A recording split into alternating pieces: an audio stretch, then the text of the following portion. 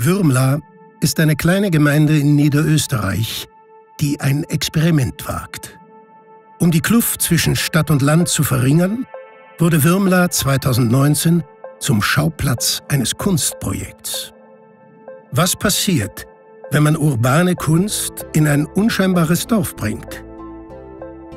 Ungenützte Fassaden zu Leinwänden und die persönlichen Geschichten der Dorfbewohner zum Inhalt ihrer Wände werden. Sie erzählen von ihren Wünschen, was sie beschäftigt und bewegt. Mehr gibt es nicht mehr jetzt. Ne? Die Lebensmittelketten matchen sich untereinander.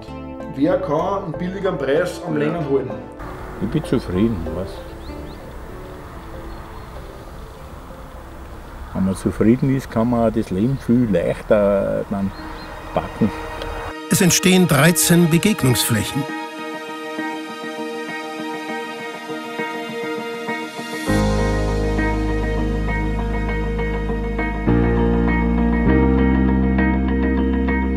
Eine Wanderroute verbindet die Wände miteinander.